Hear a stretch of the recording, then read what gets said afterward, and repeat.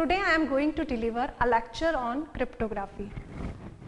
Cryptography, this topic is related to network security and cryptography. Cryptography is the study of secret writing. There are two types of cryptography, symmetric and asymmetric cryptography. In symmetric key cryptography, we use only one key that is called secret key or private key. To encrypt the message, we use only one key in symmetric key cryptography that is called private key. Next type of cryptography is asymmetric key cryptography. In asymmetric key cryptography, we use two keys, one key called public key and other key called private key. To encrypt the message, we use both keys in asymmetric key cryptography. Symmetric key cryptography. In symmetric key cryptography, if a user A wants to send a message to receiver, then it uses secret key for encryption of message.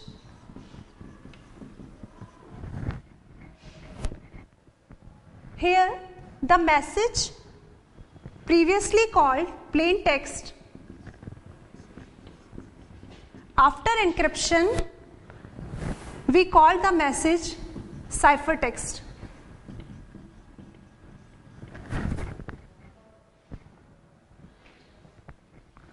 in asymmetric key cryptography user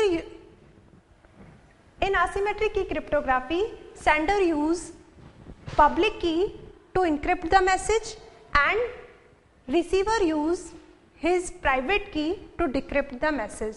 Suppose he wants to send a message to B on the network.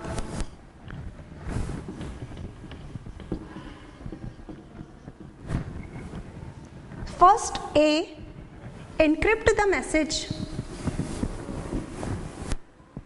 using his public key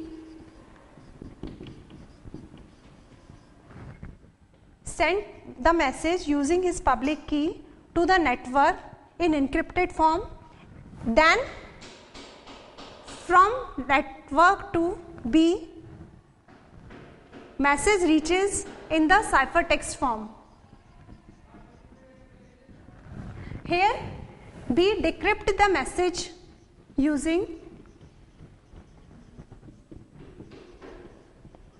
using his private key.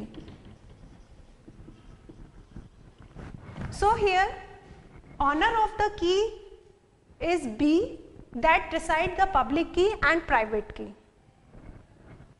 Thank you, thank you and thank you. For further details, please log on to www.gurukpo.com.